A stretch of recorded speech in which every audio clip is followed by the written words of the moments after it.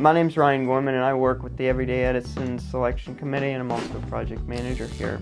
Um, what we're going to be talking about today is how that selection process works uh, from both our perspective and as, as well what you may want to do as an independent inventor to increase your chances on the product that you're working on. So you've got a great idea.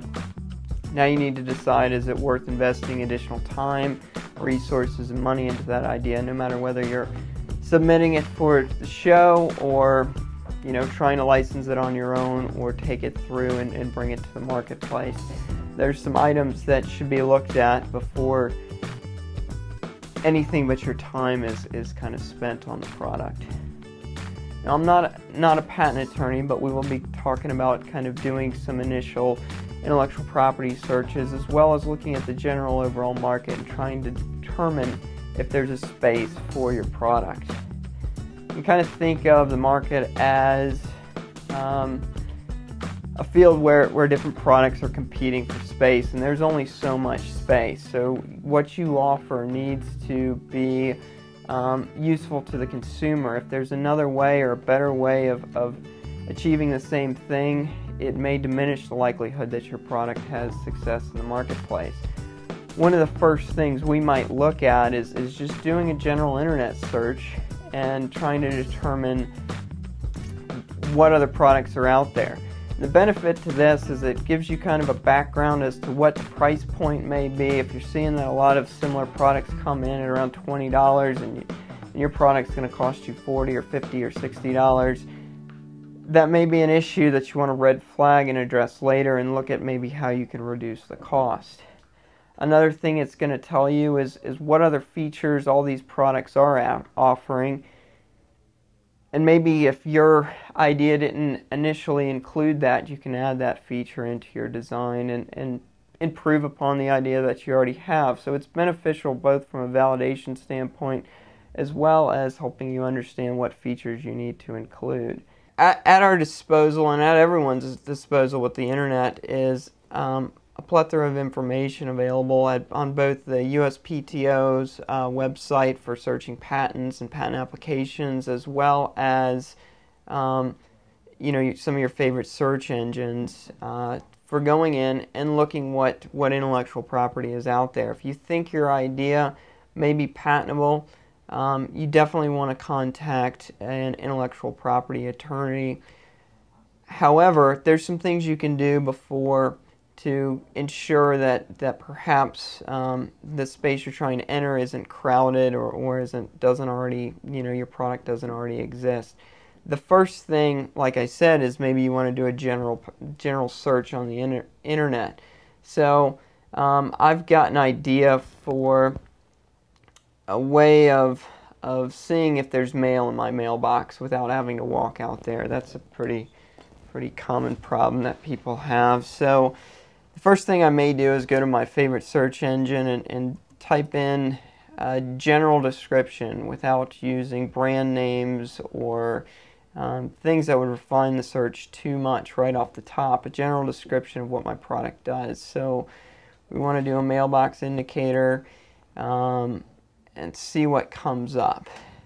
Now, it looks like a couple things popped up, and you can kind of read through here and see the descriptions.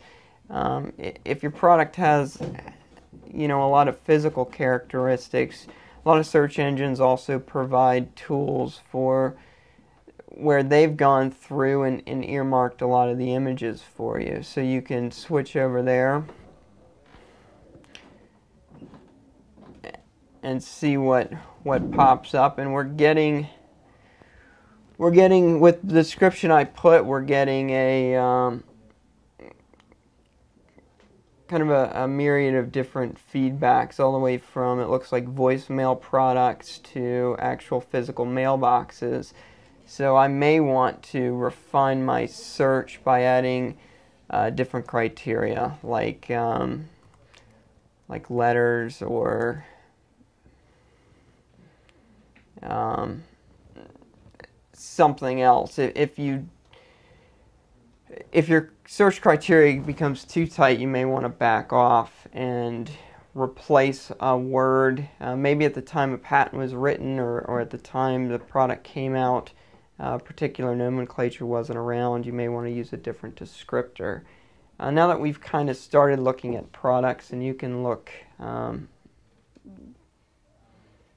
pretty much forever on the internet, but uh, if you don't see a lot of physical products out there, there's a lot of patents that that haven't made it to the marketplace or may never make it to the marketplace. So it's important to look for those too.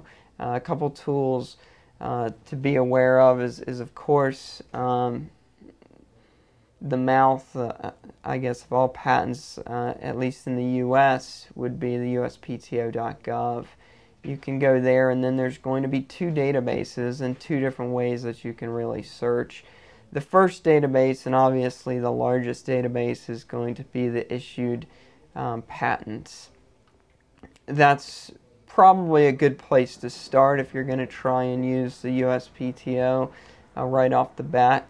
It's not necessarily the, our first choice. It's a little cumbersome if you're not aware of the nomenclature and the way to enter information, and it only searches back to about 1976 as far as word searches are concerned.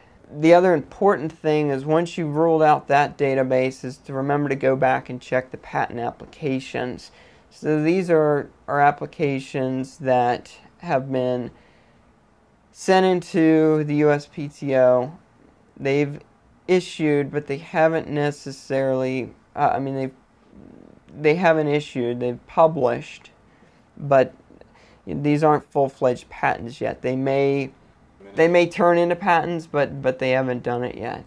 Um, an easier place to start may be one of the patent search tools. I, I like to use Google Patents. It's it's fairly user friendly, and what you're going to want to do is go in and go ahead and start with with a pretty general search. So I, I've typed in mailbox indicator, and I've gotten um, quite a few hits here, so I may want to refine this search um, to a mailbox indicator that has a light, because in my mind, mine has has a light. Kind of wrap things up, the, the important thing to do with any idea uh, before you invest too much too much of your time or your resources in there is I know it's hard, but take the time, see what else is out there, see what else you're competing with. If you um, are in a crowded marketplace, it may make it more difficult to be successful.